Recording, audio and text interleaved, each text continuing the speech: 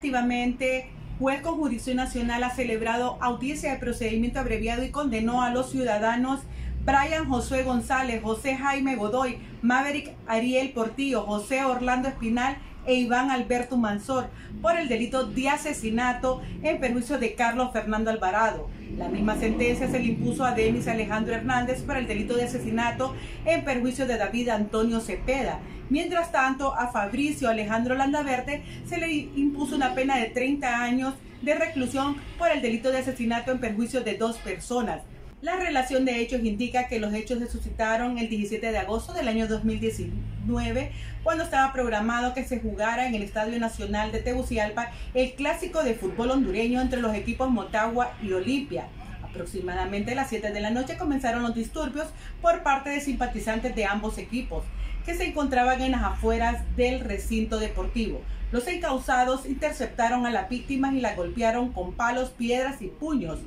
víctimas que quedaron gravemente heridas y fueron trasladados al principal centro asistencial del país, donde horas más tarde se confirmó su deceso.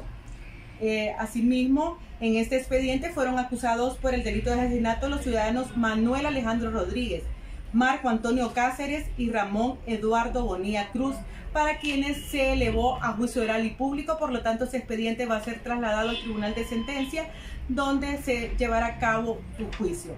Por otro lado, cabe señalar que el procedimiento abreviado es una medida alterna que favorece a los imputados, ya que al aceptar su participación en un ilícito, el juez puede rebajar hasta un tercio de la pena.